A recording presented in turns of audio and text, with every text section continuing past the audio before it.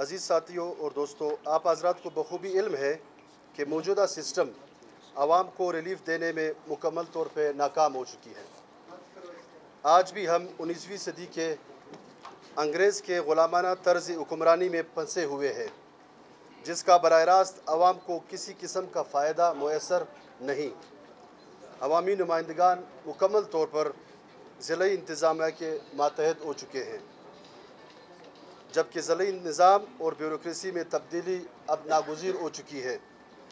Moz साफ़ी हजरात, आज इस प्रेस कॉन्फ्रेंस का मकसद सिर्फ़ और सिर्फ़ बी एस एस कैडर, यानी Balochistan civil secretariat service cadre के साथ होने वाली ज़्यादतियों के बारे में आपको आगाह करना है।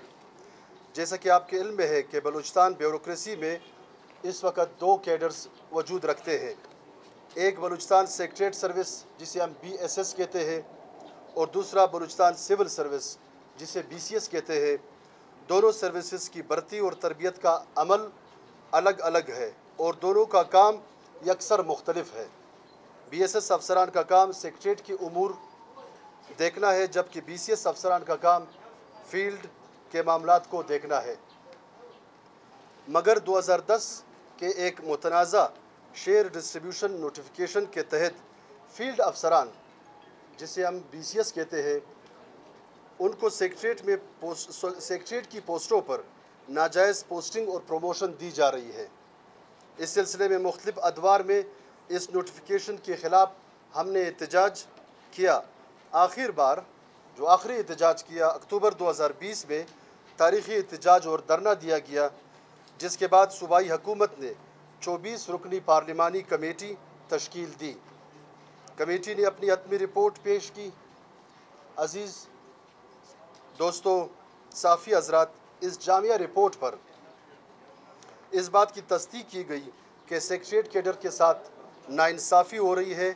बी एस एस कैडर के अफसरान रूल्स के मुताबिक प्रमोट और तैनात हो सकते हैं, जबकि फ़ील्ड अफसरान तादाद में कम होने के बावजूद फ़ील्ड पोस्ट, जिसमें tehsildar, assistant commissioner additional deputy commissioner deputy commissioner additional commissioner और कमिश्नर की पोस्टों पर तैनात होने के साथ साथ सेक्रेटरीट की पोस्टों पर बतौर section officer deputy secretary under secretary additional secretary special secretary और सेक्रेटरी के पोस्टों पर तैनात होते हैं, जो कि रूल्स के सरासर ख़िलाफ़ है।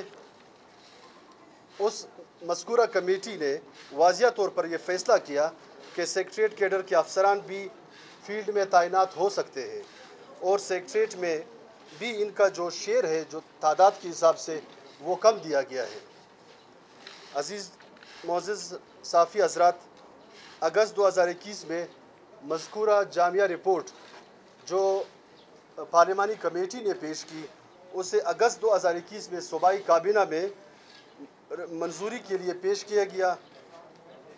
और अगस्त 2021 के सूबाई काबिले ने उस रिपोर्ट की मंजूरी दी, लेकिन 10 माह गुजरने के बावजूद उस पर अमल दरामद नहीं किया गया।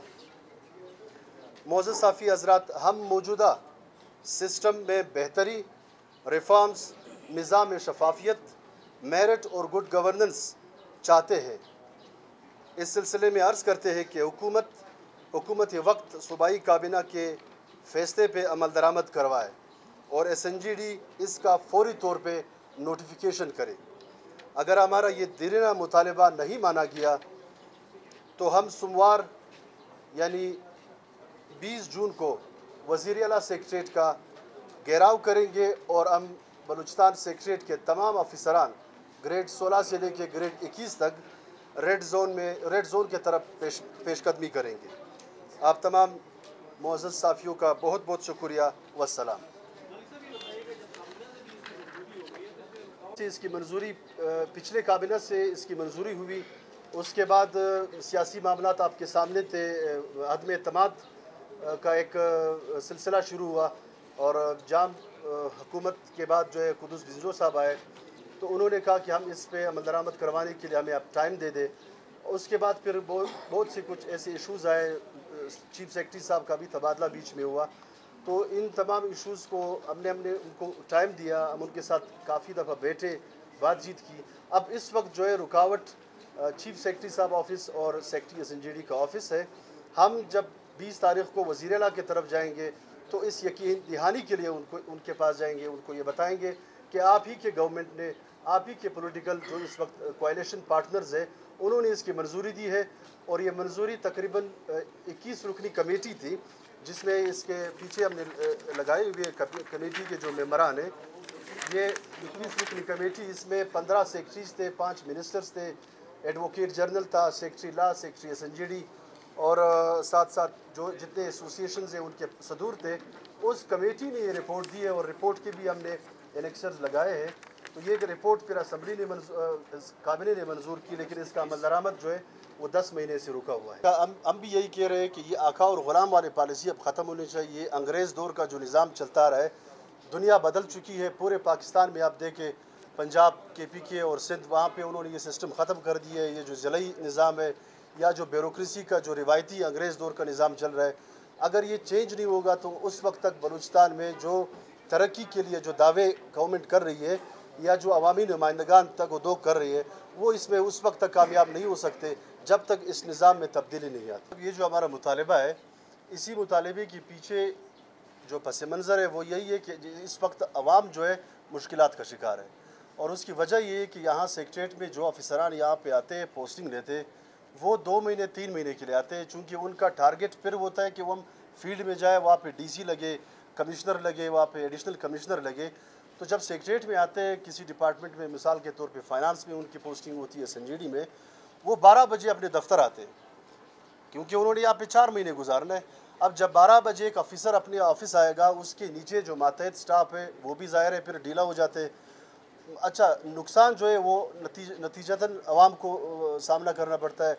साइलिन जो है, यहाँ पे आते हैं, उनको अफसरान वहाँ पाए नहीं जाते। बजट का इस वक्त सीज़न चल रहा है। इस वक्त फाइनेंस का मैं आपको बताऊँ, हमारे सेक्रेट के ऑफिसर कल भी यहाँ रात एक बजे निकले। लेकिन जो फ़ील्ड अफसरान यहाँ पे, जिस तरह बी सी एस आपने कहा या पास ऑफिसर वो तीन बजे अपना ऑफ़िस बंद करके चले जाते हैं। तो इसका नुकसान जो है, इस इस सिस्टम का, जिसे हम तब्दीली चाहते हैं, इसमें बहुत बड़ा बेस भी है इसके पीछे। हम यही चाहते हैं कि ये निज़ाम बदले।